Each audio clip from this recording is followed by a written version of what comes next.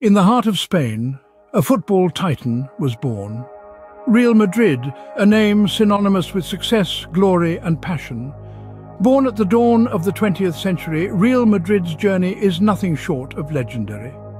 From their humble beginnings, they quickly ascended to the pinnacle of football. With a record 34 La Liga titles and 13 Champions League trophies, their legacy is unmatched. Their success is not just in numbers, but in the galaxy of stars that have graced their hallowed turf.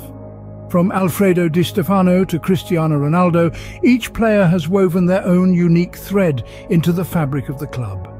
Yet it's not just about the victories, it's about the spirit, the camaraderie, the relentless pursuit of excellence.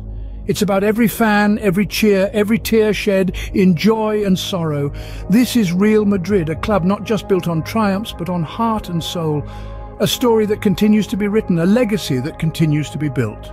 Join us as we delve into the remarkable tale of Real Madrid,